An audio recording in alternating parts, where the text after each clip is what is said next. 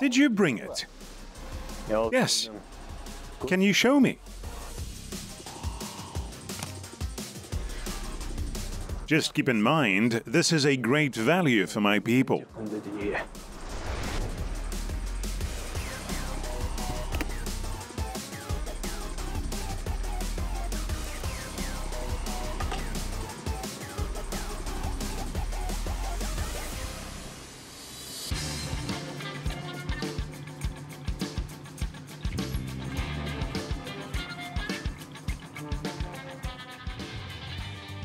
дәл өзі ассалаумағалейкум қадірменді Hello, dear viewers. A very interesting and delicious day awaits us today.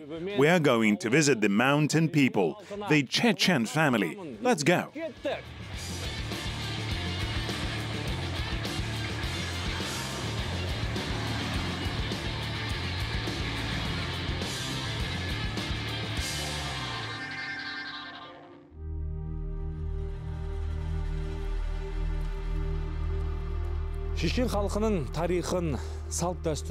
I decided to come to the village early in order to get to know more about the history and culinary arts of this people.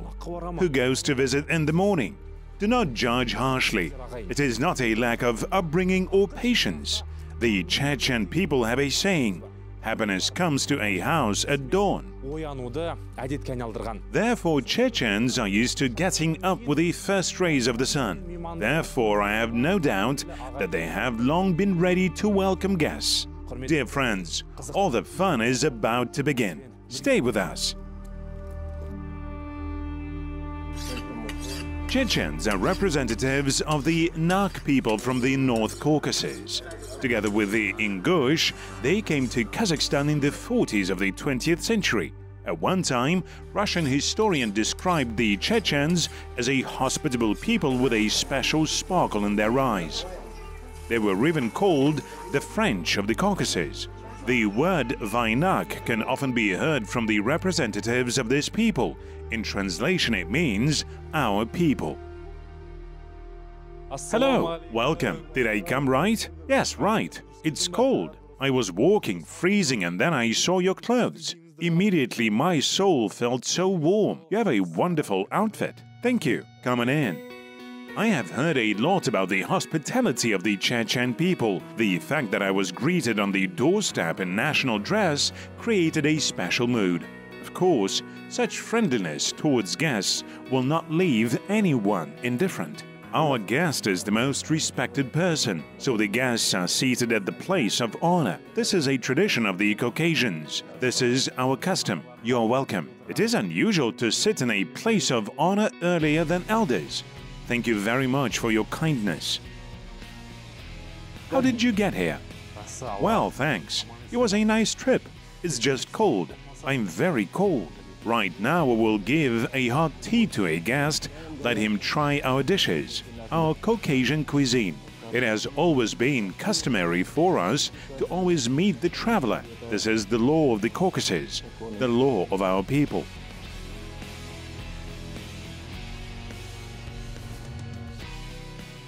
Chechens don't cook food without meat. There must be meat in the main national dishes. Perhaps that is why Chechen guys often win first places in wrestling competitions. Dear viewers, it's time to move on to the main topic. Today, I will learn how to cook a Chechen national dish called zhizhig galnash. And Mrs. Rosa will help me. If we translate into Russian, then zhizhig means meat and galnash is noodles, right? Tell us a little about the history of this dish. As a mountain people, we often use corn flour along with wheat flour. Corn is yellow and white, and from wheat flour, we prepare four types of galushka. But the main thing in this dish is meat. So you are also meat eaters like us. Yes, we don't cook without meat. This dish looks like Kazakh beshbarmak. Only the sauce is slightly different and we add potatoes.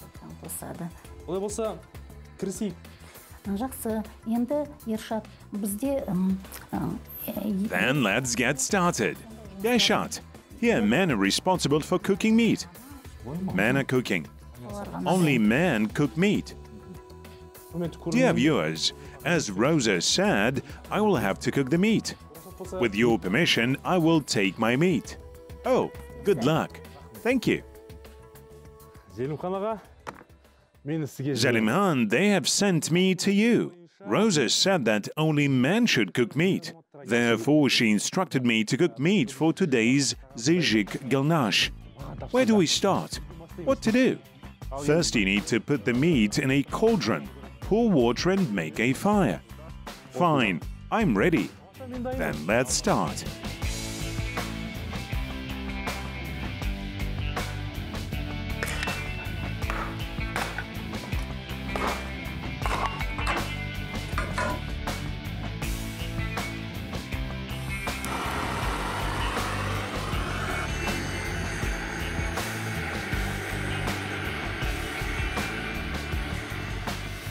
By the way, what kind of meat is it? Mutton? Uh-huh. Yes, it's lamb, but beef can also be used in this dish, and even poultry meat is possible. Which one is tastier? Lamb is the most delicious, and from salted and air-dried meat. Can you use dried meat too? Yes. What could be better than cooking outdoors? How wonderful it is to communicate with nature, chop wood, and make a fire. You only understand this when the bustle of the city makes the soul yearn for such a cozy silence. In addition, food cooked in a cauldron always tastes better. Rosa, I see two kinds of dough here. One is white and the other is yellow. What are they made of?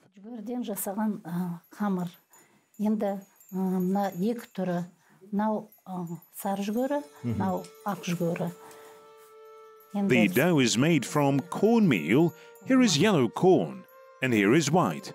Now let's start slowly. Let Rosa show us what to do. We need to split the dough and wet fingers. Yes, try it too. солай домалатамыз Then we roll the balls. Very soft. Yes, the dough is soft. Then we press down with three fingers. You need to wet your fingers. You are good at it. It is really beautiful. Yes. Let me help you. Like this. It seems simple, but difficult to do.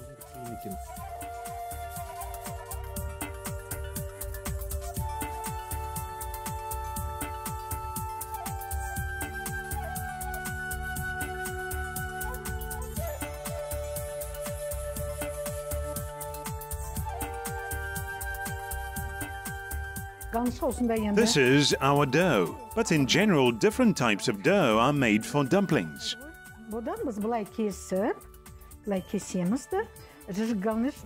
This is how we cut the dough, and like this. Galushka can be made different. It depends on the imagination of each hostess. We roll the dough like this. Then you cut it. Cut into small pieces. Yes. We make shells with three fingers. We pinch with three fingers and twist right. Yes, that's it. Well, try it.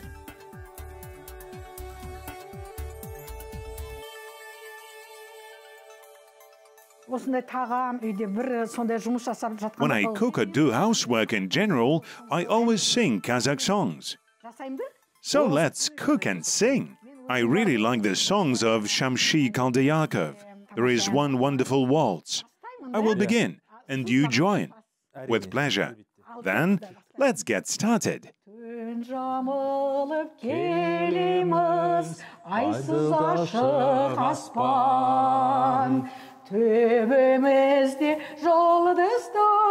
Önsüz şaman daskan Бара жатыр зымырап, байқалмайды уақыт. Бұл не деген қуаныш, бұл не деген бақыт. Бұл не деген байқалмайды уақыт. Бұл не деген қуаныш, бұл не деген бақыт. Zalema, what are you doing? айналысып жатырсыз У нас в национальной э, кухне есть два соуса. Чесночный, We have two sauces in our national cuisine а, чесночный garlic and with potatoes. Garlic is mainly served with salted meat than with regular meat. Potato is mainly made for galushka with chicken. Here we squeeze out the garlic. We soak it a little in cold water to get rid of the bitterness, as they say. Then we get the garlic and add salt to taste with black pepper to the broth. We need to peel the potatoes, cut into small pieces and add it to the broth. Then, as the potatoes are boiled, it turns out to be mashed potato. The consistency should be as of sour cream.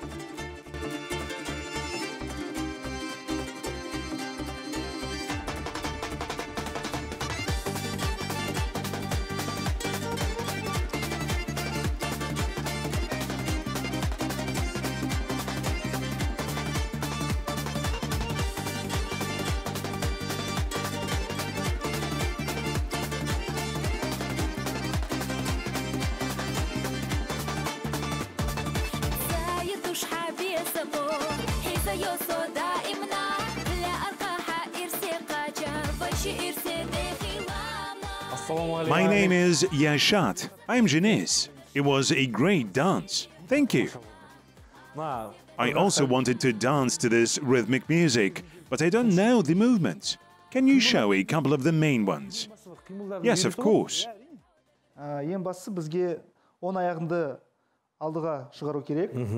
The most important thing is to bring your right leg forward. Left hand forward, right back. We take a step and open our hands. Then we change. We open and change. One, two, three, four, five, six, seven, eight. Stronger. This is called side move. Step to the right, stomp with your right foot left back. One, two, three, four, five, six, seven, eight. Yeah, left. One, two, three, four, five, six, seven, eight. I will show you the simplest movement. Hands forward, we open, we close. We go to the right. Once we open, close, open, close. Great! I heard that these dances have their own strict rules. Can you tell us about them? The most important thing is that you cannot touch the girl with your hands. Can you be punished even if you accidentally hit her? Yes.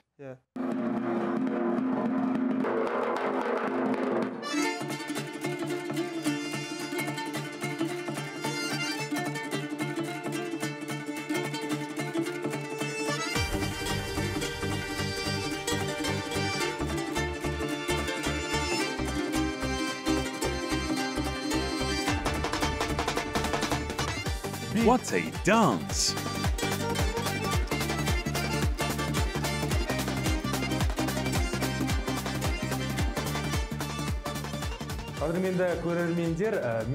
Dear viewers, I continue to get acquainted with the national dishes of the Chechen people. Now, together with Mrs. Kazima, we will prepare another folk dish, chapalgash. Kazakhs call it Chelpek, but there is a difference between them. I will ask Kazima to tell us about this in more detail. Yes, these are your shalpaks.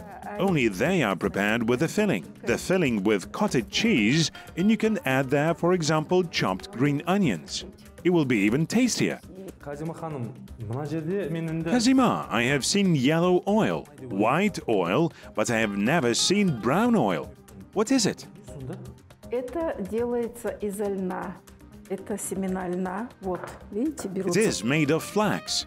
You see flax seeds. We take it, put it in a special jar, and grind it.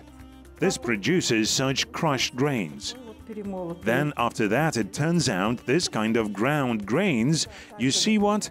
All this is fried. For example, ghee is also added here. Often, honey is also added too, чтоб оно to make it tastier and healthier. As a result, we get the cakes that are made, dipped, and eaten there. This is delicious. Here it is, a step for grinding grouts, right? Looks like it's an old dish. This stupa is brought from the Caucasus. It's been a hundred years. The owner, grandmother, passed away 30 years ago. When she was still very young, she brought it from the Caucasus.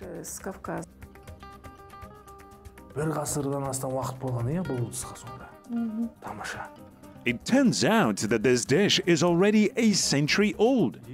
Surprisingly, well, I learned this story, let's start cooking. With what do we start? Flatbreads. Here's the stuffing cottage cheese, salted cottage cheese. Here you can cut and add a green onion. It is up to the taste of who loves greens. To save time, let me cut myself, and you roll out the dough.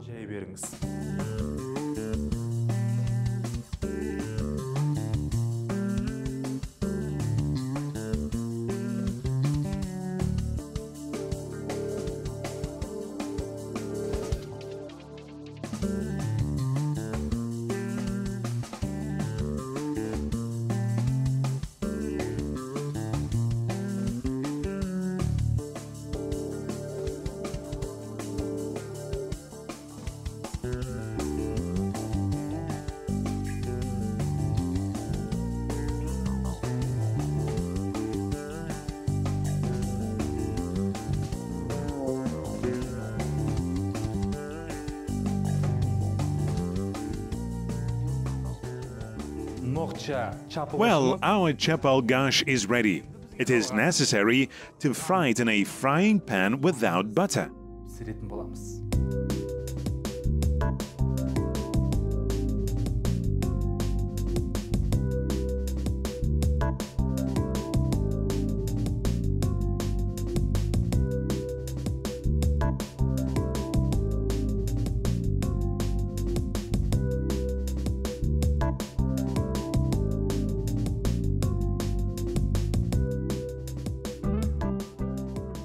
Have found that this dish is very healthy. If you prefer a varied daily diet, you can safely add chapalgash to your menu. By the way, I noticed that Chechens are so scrupulous not only about their cuisine, but also about their history. It was impossible not to notice this old jug.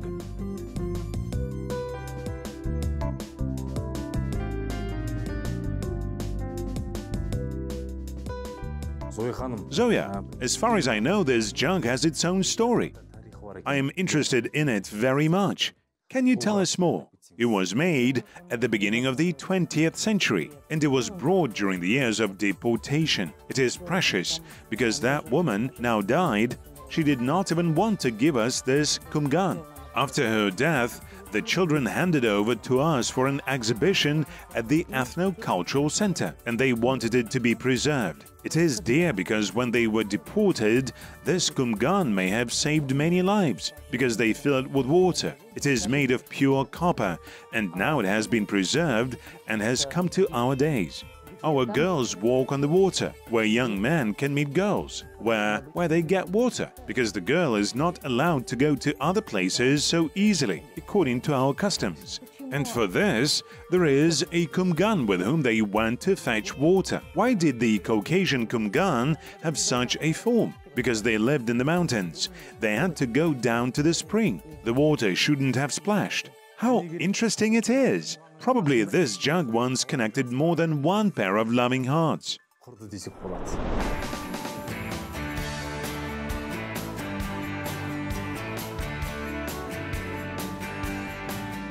The whole day flew by. The meat is ready, the galushkas are boiling. I intend not to make the hosts wait long and rather treat them to a national Chechen dish prepared by myself. Ladies and gentlemen, here are my Zhizhig Galnash. Help yourself and give your marks.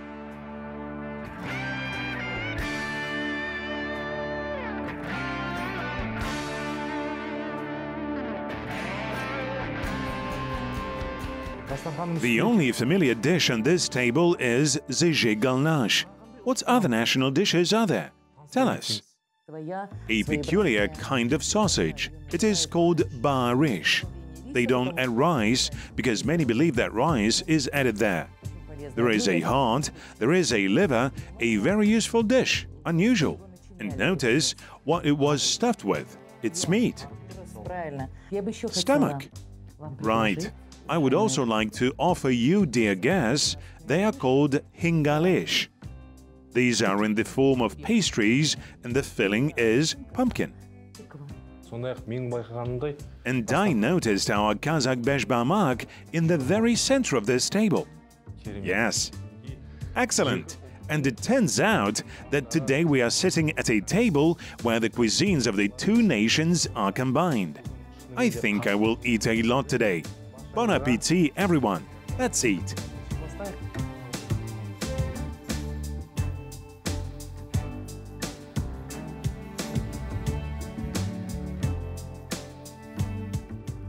был гость, который рассказывал. We had a guest who told me that a woman lived not far from our area, Kazakh by nationality.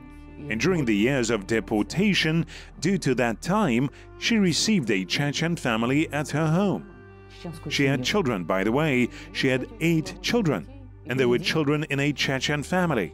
Семье. When they returned to their historical homeland, the children grew up, returned back with gratitude to this woman. and she talked about the three boys of her sons. And she told everyone that she had 11 children, not 8. There are a lot of such stories. So, gentlemen, did you like the ganache of my preparation? It is very tasty. You have tried well. Thank you. Everything turned out great for you. Yours is better than of our women. That's lovely. Yeah, Shat, your today's dish is very delicious. Thank you. You deserve the highest grade. Thank you. Thank you very much. I am very glad that you liked it. Bon appetit. Chechens are a people who have preserved their traditions and customs despite the trials. Guests here are greeted warmly and they set a rich table for guests. I recognize them as brave, honest people with hearts full of courage. They say that today is tomorrow's story. Of course, this day will remain in our memory. Well, we are not saying goodbye. It is the program Delicious Kazakhstan. There are many delicious trips ahead.